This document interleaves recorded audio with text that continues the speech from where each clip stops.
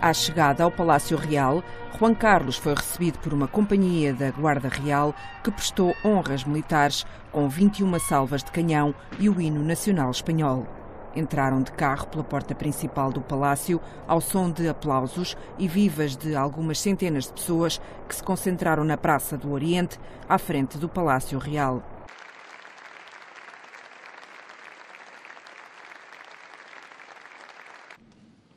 O rei de Espanha, Juan Carlos, assinou depois, na sala de colunas do Palácio Real em Madrid, a lei orgânica da sua abdicação a favor do filho, Felipe de Bourbon, encerrando assim um reinado de quase 40 anos.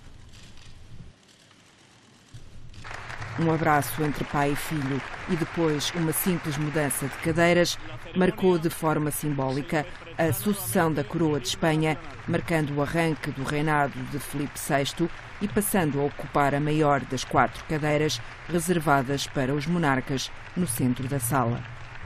Um ato histórico que foi ainda acompanhado por cerca de 160 convidados, entre os quais as principais individualidades do Estado espanhol. A lei entrará em vigor quando for publicada às zero horas de quinta-feira no Boletim Oficial do Estado, marcando assim oficialmente o fim do reinado de Juan Carlos I e o início do reinado de Felipe VI, que prestará juramento numa sessão das Cortes marcada para as 10h30 de quinta-feira.